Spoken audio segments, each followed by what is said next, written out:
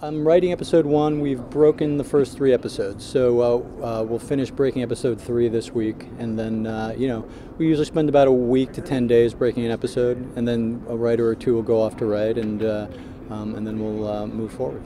So, I, but I'll probably turn in uh, a script at the end of the week, a first draft of the first episode. You know, I think really for me, their relationship is going to be, you know, have different challenges this year. You know, I think Tara's made the decision to be in, so her, her conflict isn't so much am I in or out, it's I'm in, now who am I in, in this world?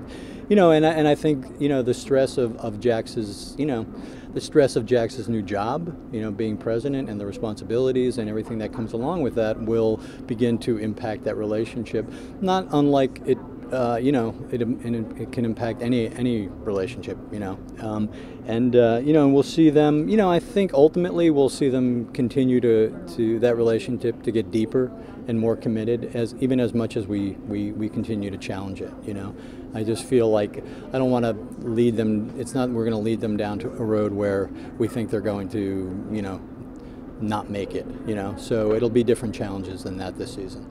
I steal from the best. So uh, uh, yeah, there's definitely a little uh, a little Michael Corleone. You know, Godfather Three. You know, every time I try to get out, they pull me back in. You know, I think there's definitely some of that going on. I think that was John Teller's his his dad. I think there was some of that with him.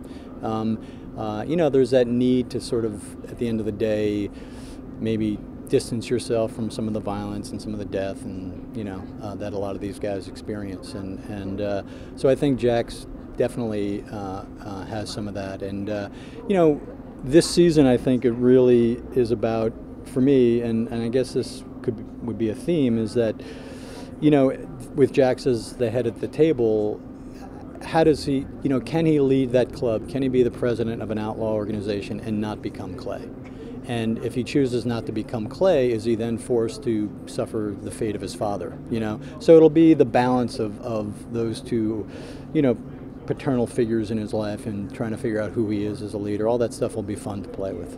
What's the vice of the season?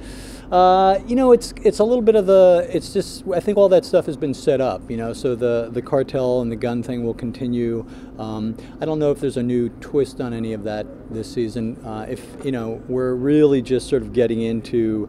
Uh, uh, you know the middle arc of the season, which is you know really five through episode nine, and and that's kind of where we'll usually play with new stuff. So we're not really there yet to figure out what that new stuff is, but uh, but the ones we've established will will still be around. So there'll be plenty of disgusting things for everyone.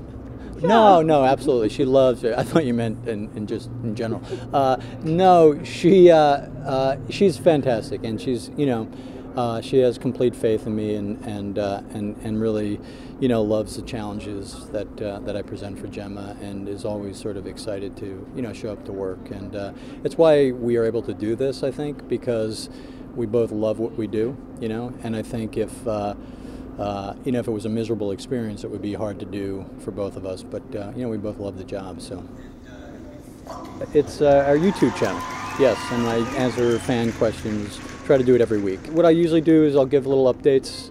Uh, the, the, truth is, I've just become a lazy blogger, and it's like it's like so much work now to write. So between Twitter, it's just you know completely killed my blogging. So uh, uh, I figure I'll do a little video blogs. It's easier. So I'll give fans updates, and then I'll usually answer a couple questions.